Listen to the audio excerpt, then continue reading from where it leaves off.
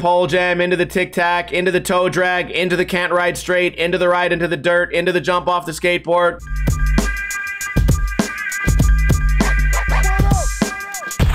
What is going on, guys? Welcome to another episode of Ninja Review, the series where I review videos submitted to me by you guys. Surprisingly, this week I have no complaints about people submitting videos incorrectly. You guys followed the three steps perfectly. As usual, today we will be reviewing two videos. Let's start with this video. It's called Andrew Murphy Ninja Review Again Habib. Rewind, play. Starting off.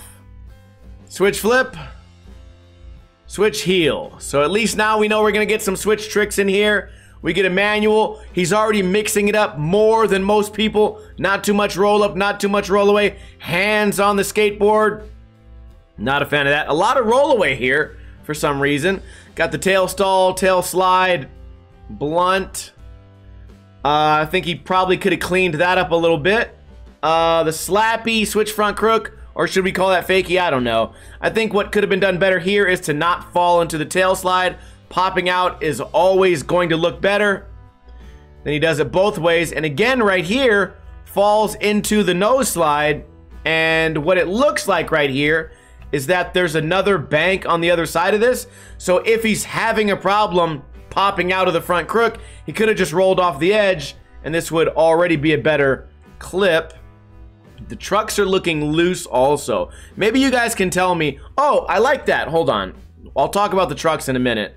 I like that he didn't ollie into this. He kind of bashed his front wheels into it before going into the blunt, which makes it a lot harder. The pop out was good. Uh, the loose trucks. Does that make the slappies easier?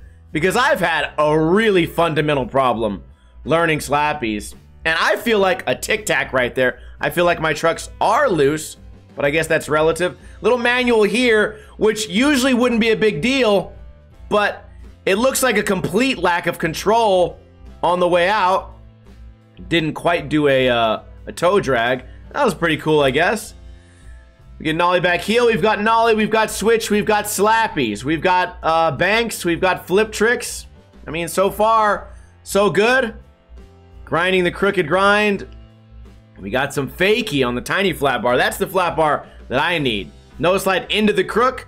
Another question, are those easier with the loose trucks? The loose trucks here also, I don't know if you guys have a pet peeve with it, but if you're always sort of bending down and almost wheel biting, probably kind of not aesthetic, in my opinion.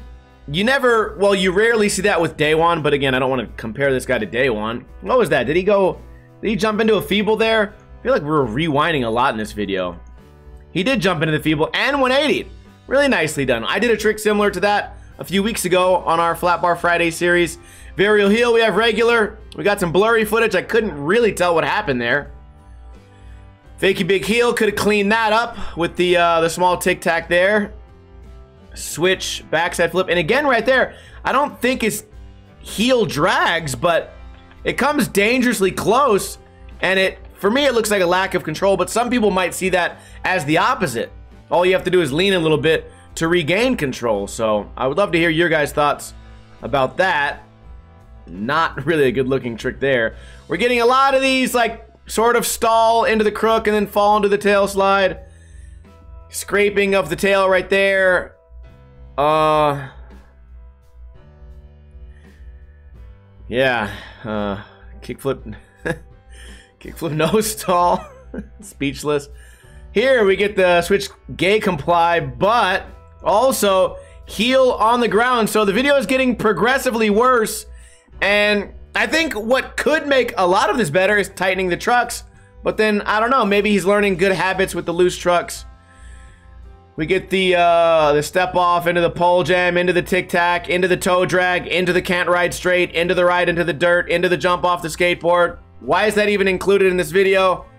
I don't know. Final trick, whatever. For your final trick, considering that you're going zero miles per hour, to not redo it to fix the tic tac Another thing that I just don't understand. What's loading? My brain is loading trying to figure out why some of these tricks weren't redone. Was this literally the best version of that trick you could do?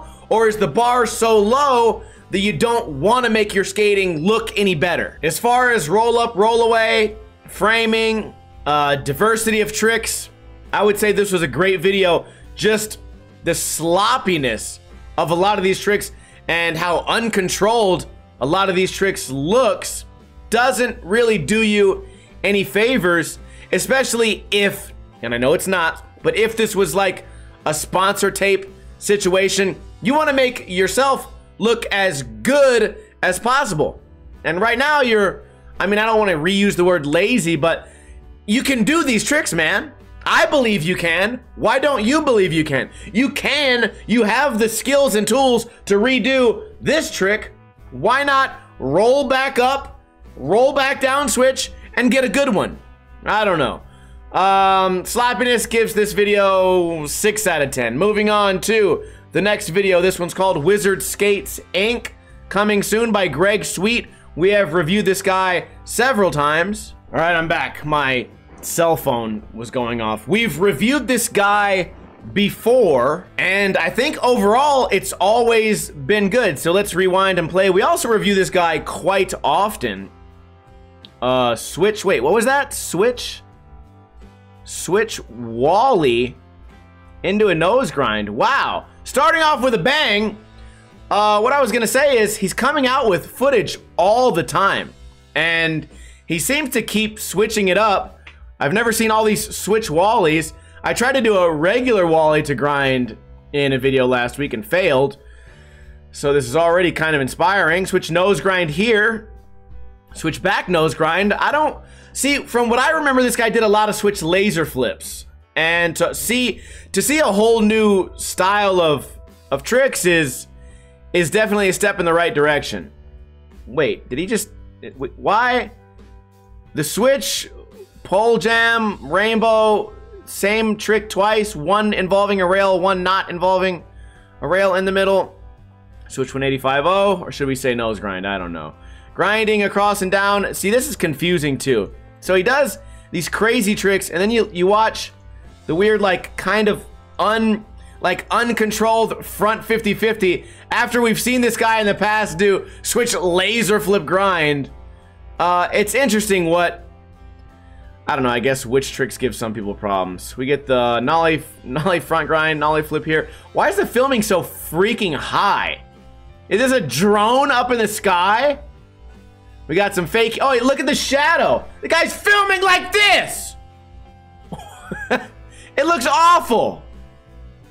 See, look, and then we get the rocket flip. Again, the guy has so many technical tricks, and then you give him a, a regular kick flip, and he rockets it straight up in the air. Doesn't catch it at all. It's interesting uh, just how people's styles differ. But what I was saying earlier, it's impressive that this guy's always coming out with new footage, always grinding. This is kind of what you'd like to see. Again, this is not a sponsor tape, but you want to see progression. And that doesn't just mean like, oh, I did a trick down a four stair. Now I did it down a five, and then a six, and then a seven. Progression also means changing your whole game plan, right? We're not, we haven't gotten any switch laser flips yet. He's changed it up completely. Switch big spins. He's going switch front side, switch back side. We're getting nollies. We have seen this trick before, but maybe not in a line, right? We get the gazelle. You guys impressed that I've heard of a trick before? I don't know what that was. Are we gonna call that an impossible? What? Wait, what's he doing? It wraps around. Okay, nollie, whatever. I already, like, you guys already know. I'm, I'm not good at just naming the tricks, right? Nollie inward heel 360, I guess. Nollie heel front lip. We get the heel flip back grind. Heel hanging off. Would have redone that one. Heel flip back lip perfectly. Also with that style, kind of reminds me of like a Cody Mack style with the, the slanted hips. Um, like, like I don't know. It's it's a smoothness, right? Obviously, obviously he's not the exact same style. I I say things on this series and then in my head, I think about how a loser would comment, and then I feel like I try to correct myself. Like, I just said that his style slightly resembled Cody Mack in that particular trick. I know someone's gonna say, well, well, he's way better. He's nowhere near as good. And I'm like, I, I didn't say that. I said that trick slightly resembled. All right, moving on. We get the nollie inward heel 180. Fakey hard flip revert. Uh, you also gotta respect, or at least I respect, this is all like a one-man army, right? He brings the tripod, he brings the tricks, he sets the camera up, he goes out, he skates, he lands the tricks, and he lands most of them really clean. Not too much roll up, not too much roll away, keeps you guessing on every trick. And I feel like I almost always have the same opinion of this guy. You never know what you're gonna get. Switch, uh, shove, lay flip. What was that? When I looked away for a second, what flipped it? What's happening here? Oh, what what foot is flipping this? The back foot? Like the, this foot's doing what appears to be a heel flip, but the board's not spinning heel flip. That's a back foot. So what do we call this? Late late big flip or back foot big flip? I don't know. I I don't even know. What is this? Hold on. This it's spinning like a like a uh, front big heel, right? But it's it's kind of late. This reminds me of how Alex Moul used to do switch front big heel. If you guys could ever go find that on YouTube somewhere back in the day on an on video or something, that brings back the memories. So, wow, this is this is a great video. I, I really loved that in the beginning it was all switched up, right? The switch nose grinds, switch wall rides. We get nollie, we get switch, we get rails, we get manuals. He he always delivers everything. I mean, and he might even be catering to Ninja Review. My only criticism would be and this is really reaching. Well, you know what? Never mind. I, now I finally have a real criticism. Is this terrible Tic Tac? My only real criticism would be how does all of this um, translate to street? I don't know. Wow, another trick that we don't see very often. The Nollie Laser Blunt. Haven't seen that since Dan Peugeot. If you guys remember whatever video that was, he did it on a table. Wow, we get some late flips. Like, I, I don't even know what's going on. I just know I'm impressed. I don't know what we scored him last time out of 10, but I would say today Greg gets a 9.9 out of 10 just because I spent the whole episode sucking his dick and then he does a tic tac at the very end. Come on, dude. I noticed that this is called Wizard Skates Inc. coming soon, and I don't want to give bad information, but I think He's pressing his own skateboards. Last couple years, I've been working towards producing my own board company, and this is a collage of all my best clips on my prototypes since the beginning of 2023 to August 2023. So that's not a lot of time to put together three, oh, almost four minutes of footage that hasn't been seen before. I can certainly respect that because I only put out a collage once a year. So this guy's really out there putting in the work, and if he can do these tricks on this skateboard, maybe they're worth checking out. So certainly subscribe to this guy. I'm sure he'll give you more information about his brand in the future, but Again, Greg, I appreciate you submitting your footage. I appreciate everyone submitting their footage. Also, a link to both of these videos will be in the description below if you want to watch these videos with music. If you would like to submit your footage to me, that would make me so happy. As long as you follow the instructions correctly. Remember, a lot of people don't. Step one, if you want to submit footage, find me on Facebook or find me on Instagram. Send me a DM. Inside the DM, write these exact words.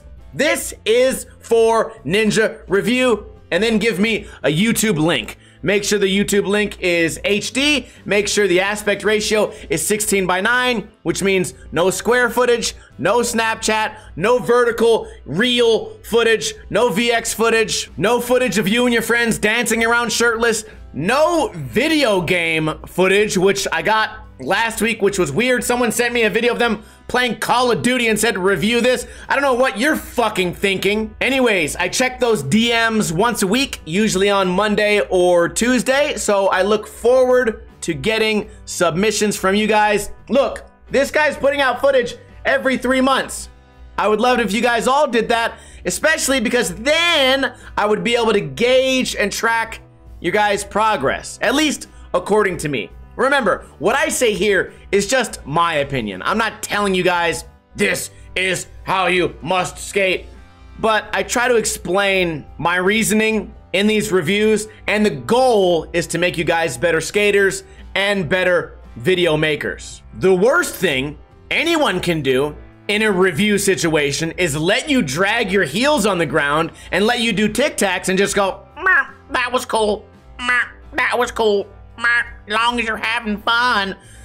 No, not here, guys. I try to give you guys the truth. Clearly, a lot of your friends are lying to you, which is why this series is necessary. Please subscribe if you're not subscribed already. YouTube does their best to hide my videos from the public. Only you can prevent the censorship of Ninja Lifestyle. So tell a friend about the channel. We upload three, sometimes four, five videos every single week. And I'm looking forward to seeing you guys tomorrow with another video. Kuna Matata, bitches.